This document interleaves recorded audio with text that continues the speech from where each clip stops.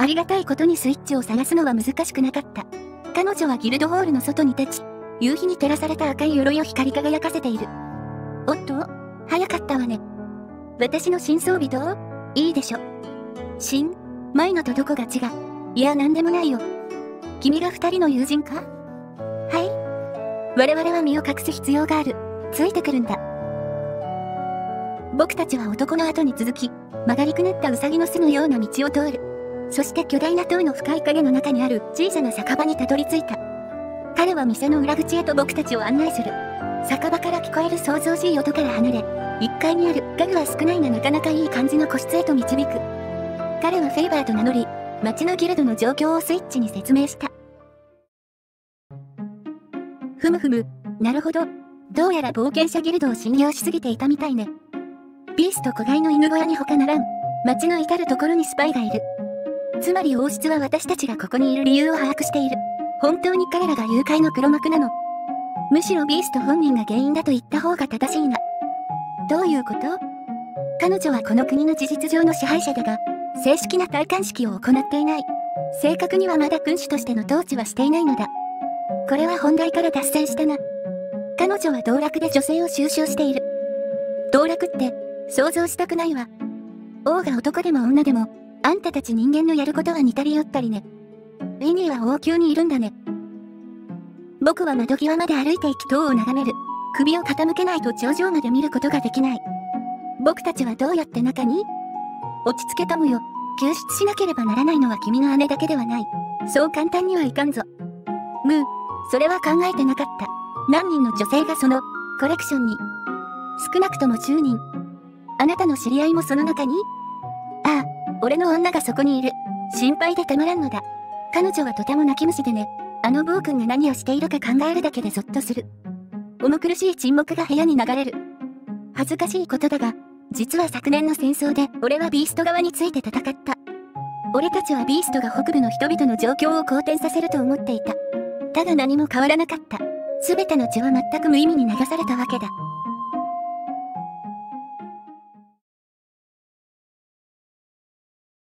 街は闇に包まれた。僕の仲間たちは自分のやるべきことをやるために出て行った。僕は作戦本部に残り、ずっとテーブルの前に座っていた。フェーバーがくれた王宮と周辺の地図や設計図を見つめ、様々な思いで頭がいっぱいになる。地図はかなり充実している。どこで手に入れたんだろう。まだいたの。その地図そんなに面白い？とても面白いね。エコーは僕のところにやってきてテーブルの上に降りる。まるでミニチュアサイズの間取り図の上に立っている人形のようだ。小さな妖精について考える。彼女は僕に恩義を感じてここまではるばるやってきた。んだろうか？けれど、あるいは実際に働いている誰かへの義務があるスイッチや、みんなを救うことに熱心なフェイバーに比べれば、エコーは僕が脳内で考えている構想に最も賛同してくれるはずだ。まだ正確なところはわからない。彼女を直視するのはためらわれた。ビーストが誘拐した人を全員救出するのは無理だと思う。身の丈に合わない注文ね。正直に言えば、僕はウィニーを取り戻すこと以外には興味ないんだ。言った瞬間、頭の中がすっきりとした。フェイバーには気の毒だけど、自分の彼女以外も守ろうとするのはちょっとね。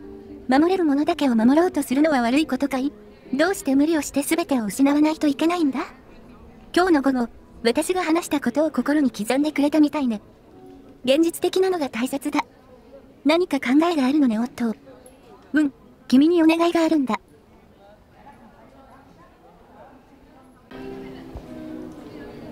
要するに、ライオンの口の中に一人で飛び込んでこいってことね。君がこの仕事に最も適してるんだ。自分の力を発揮したいって言ったろ。今がそのチャンスさ。もし君がウィニーに僕の意図を伝えて外に連れ出してくれたら、救出はとても簡単なんだ。これも恩返しの一つだと思っておくわ。お姉さんはどういう人なの？そうだね。彼女はおっぱいが大きくて。みんなおっぱいが大きいのよ。太ももが柔らかい。あんたたちどういう関係なのよ。そこは興味ないわ。もっと具体的な特徴を教えなさい。えっと、尖った耳かな？と言っても君ほどは尖ってないけど。へへん。なんか妙なとこで自慢げだった。普段はメガネをかけているんだ。視力が低くてね。他にはそうだ彼女は本当に大きいんだおっぱいの話はもうしたでしょうが髪の毛がね本当に大きい髪の毛ねうん。いいわ。それで十分よ。行ってくる。エコーが暖かい夜空へ飛び立つ。その姿は巨大な塔に対してとても小さい。僕も自分の任務を果たそうと思ったその時、肩に手がかけられた。罪悪感の緊張が背筋を駆け抜ける。手の主はフェイバーかスイッチに違いない。でも、どうして罪悪感があるんだろう。今何してたの？ち声を抑えて。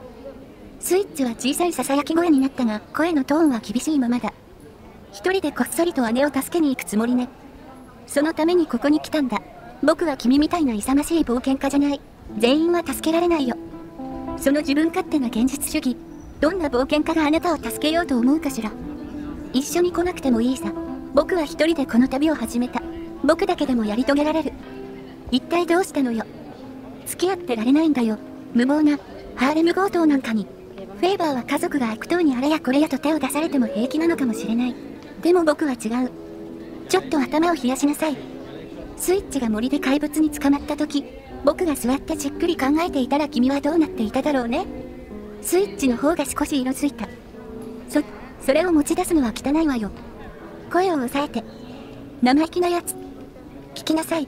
あの時うまくいったからって無計画に突っ走ると99%死ぬわよ。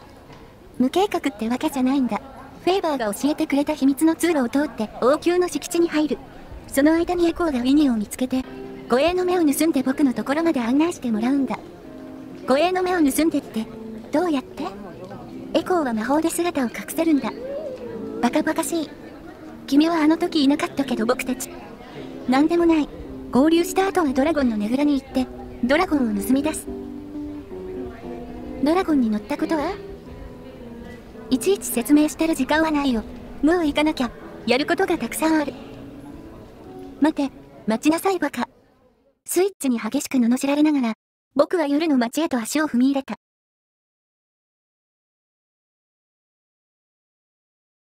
隠し通路の入り口は、ラノウェイプリンセスという名の酒場の脇を通った路地にある。ただ名前から察するに、ここは入り口ではなく出口と考えた方が適切かもしれない。暗闇の中で地図に描かれた目印を探すのはなかなか難しい。酒場の壁に寄りかかり腕組みをしているスイッチを見る。今夜は満月ね。手伝ってくれるのかい？くれないのかい？手伝う。君の短い髪を引っ張って連れ戻さないだけ幸運に思いなさい。あ、ここだ。せーの。もう一回。せーの。はあ、やっぱりこれじゃないか。もう、イライラするわね。スイッチに手伝ってもらい、ようやく僕たちは目印の敷石を見つけた。路地の底、より深い闇が四角く綺麗に広がっている。これだ。ありがとうスイッチ。待ちなさい。もう一人で抜け抜けしないで。え、一緒に来てくれるのかい？白深いフェイバーみたいな人より、バカな君にこそ私の助けが必要でしょ。まあ私がついていれば、君のバカみたいな行為も多少はうまくいく可能性が出るわ。中は入り口より狭くなっている。肩を寄せ合って進むしかなさそうだ。本当にお姫様サイズだね。兵所恐怖症？ふん。僕はスイッチの挑発を無視する。気まずい空気とともに暗闇の中へ。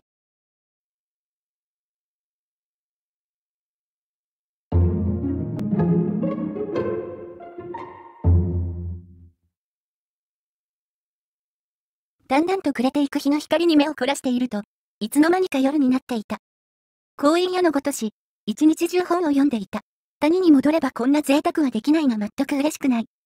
メガネを外し、鼻筋をマッサージする。うう、オットーがいたら絶対怒られちゃう。目を休める場所を求めて、霞夜空を眺める。満月だ。月には重厚で尊大なイメージがある。一緒に舞台に立てるのはほんのわずかな星だけ。目の錯覚に違いない。星の一つが動いているように見えた。私はメガネをかけ直し、目を細めて空を眺める。何もないわよね。よいしょ。ギャー窓辺に現れた、妖精らしき存在は、唇に手を当て視界の外へ身を潜めた。ずっと律儀に見張りをしていた護衛が、私が本を読んでいる書庫の入り口角から顔を覗かせる。護衛はずっと私を見下ろし、部屋の中を見渡す。ごめんなさい、なんでもないの。暗いからつま先を踏んづけちゃって。護衛はもう一度私を凝視した後、さっと顔を戻し視界から消えた。小さな翼のある女の子が再び窓辺に姿を現す。彼女は隠れていたのではなく、透明になっていたようだ。あなたがブロンウィン？私だけど、あなたは誰？私はエクオ、オットーからの贈り物よ。オットーから？王宮の外まで案内するようオットーに頼まれたの。オットーがあなたに頼んで。でもどうして？これはきっと夢なんだ。もし夢だと口にしたら、絶対目が覚めてしまう。